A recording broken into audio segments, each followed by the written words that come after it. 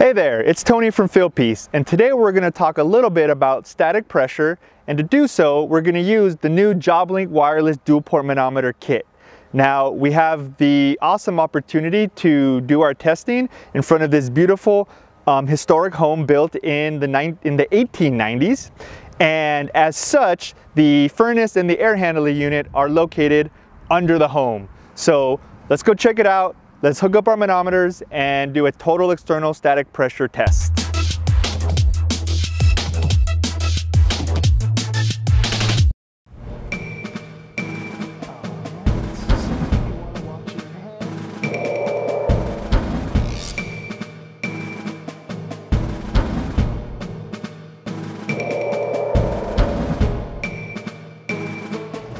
All right, so here we are, here we are in this crawl space under this beautiful historic home. And we have our furnace here with our evap coil. So we have a horizontal position furnace with evap coil set up here. We have the return side coming from the house on this side, flowing out to the supply side over there. Now, um, in its simplest forms, uh, static pressure is the resistance to airflow in a cooling and a heating system's components and its um, ductwork. And so the test that we're specifically performing right now is called a total external static pressure test, which is which can give you a good overall indication of the health of the HVAC system. And one of the reasons that it's good is because um, that actual measurement um, is specified by the manufacturer on, on what it should be.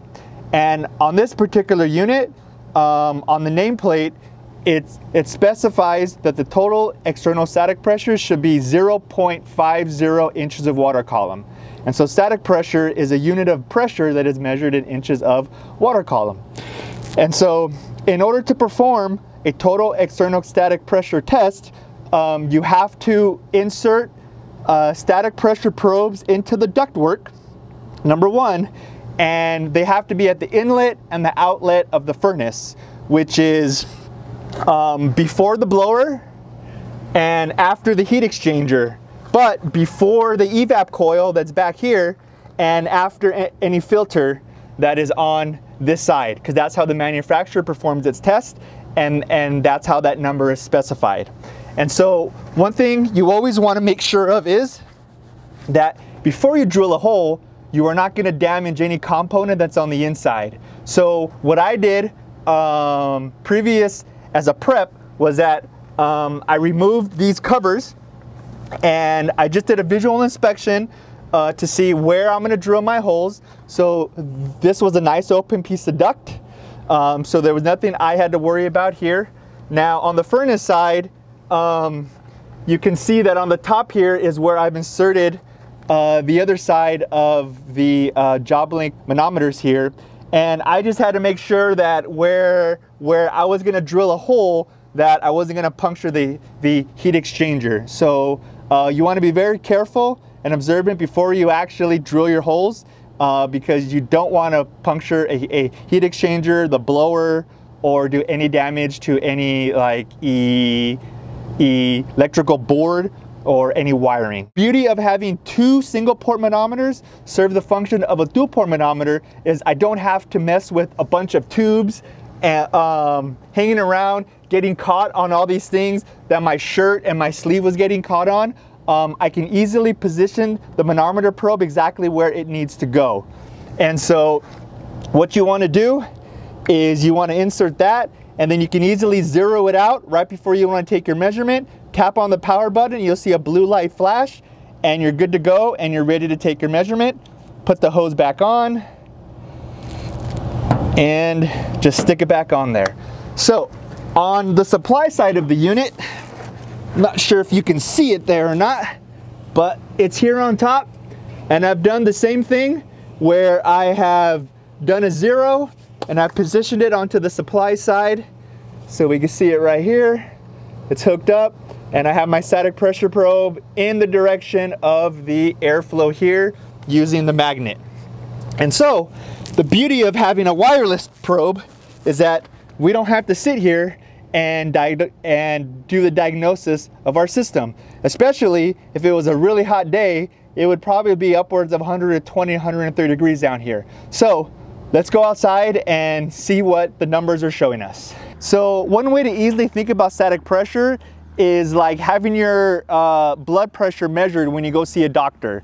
So when a doctor measures your, your blood pressure, it's, it's a general overall indication of how healthy you are as a person. And same as such, when measuring static pressure on an HVAC system, it gives you a general overall look at the health of a system. And so now that we have our tools hooked up under the house, let's actually look at the numbers um, in our nice shaded area in comfort and, um, and a better view.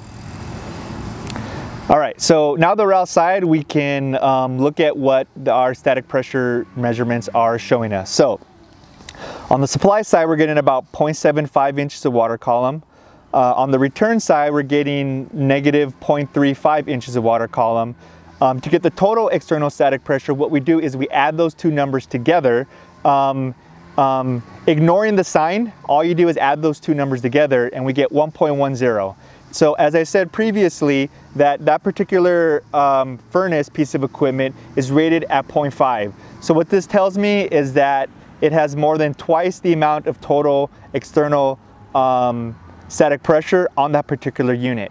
And one of the advantages of using the um, JobLink dual port wireless kit is that you can individually see what side is causing you more, more issues than the other. So from this, I can see that on the supply side, we have 0.75 inches, which is a much higher number than 0.35. So when I start to troubleshoot the system to look for restrictions in the ductwork or maybe blockages or a damper being closed, I can start on the supply side because I can easily see that that is the side that is posing um, um, more restriction for the actual piece of equipment. And so I was very easily able to view, diagnose um, in the comfort of shade using the um, JobLink wireless dual port manometer kit um, with the JobLink app. And there you have it. Those are the basics on how to perform a total external static pressure and some info on what static pressure is for an HVAC unit. Um, check out our new JobLink wireless dual port manometer kit that made taking the measurement super easy, super convenient. Thank you for watching our training video. Uh, check out www.fieldpiece.com for all latest news and information and be safe out there. Thank you for watching. More videos to come.